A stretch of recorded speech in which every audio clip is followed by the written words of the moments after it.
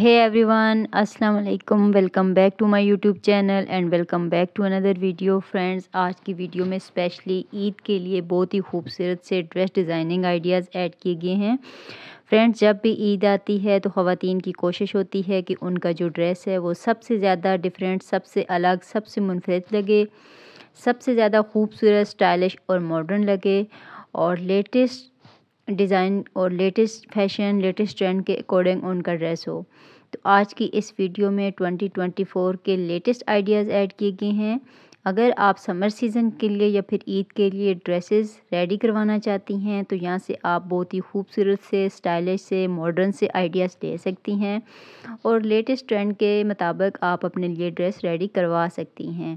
यहाँ पे आप देख सकते हैं कि इंतहाई खूबसूरत नेक डिज़ाइन आपको शो करवाए गए हैं।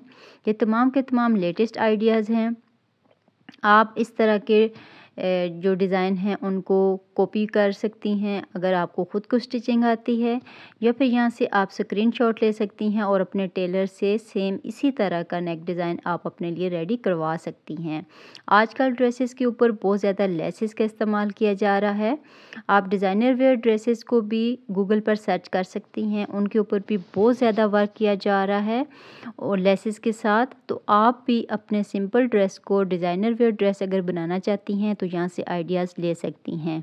लेसेस का इस्तेमाल करके बटन्स का इस्तेमाल करके पिंटिक्स का इस्तेमाल करके, इसके अलावा अच्छे कलर्स की सिलेक्शन करके आप अपने ड्रेस को बहुत ही ज़्यादा खूबसूरत मॉडर्न और स्टाइलिश बना सकती हैं।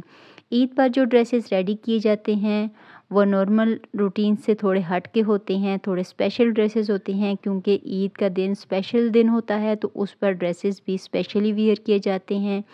ईद पर हमने अपने रिश्तेदारों के यहाँ जाना होता है, कुछ लोगों ने हमारे घर में आना होता है, कहीं आउटिंग के लिए जाना होता है। तो ऐसे में ख़वातीन तीन दिनों के लिए स्पेशल ड्रेस रेडी करवाती हैं। तो इन ड्रेसेस पर अगर एम्ब्रॉयडरी होगी तो भी बहुत ज़्यादा खूबसूरत और स्टाइलिश ड्रेसेस रेडी होंगे।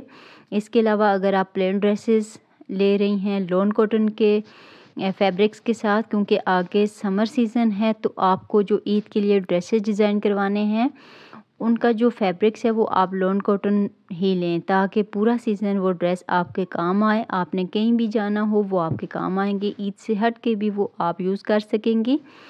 तो यहाँ से आप कलर्स के आइडियाज़ भी ले सकती हैं और ड्रेस डिज़ाइनिंग आइडियाज़ भी ले सकती हैं कि आपने फुल ड्रेस किस तरह का रेडी करवाना है, आपके ड्रेस का पैटर्न कैसा होना चाहिए स्लीव्स कैसी होनी चाहिए नेक डिज़ाइन कैसे होने चाहिए और इसके अलावा बॉटम के आइडियाज़ भी आप ले सकती हैं। आई होप कि वीडियो आपको अच्छी लगी होगी। मिलते हैं नेक्स्ट वीडियो में कमेंट सेक्शन में। लाजमी बताइएगा कि आपको कौन सा डिज़ाइन अच्छा लगा है।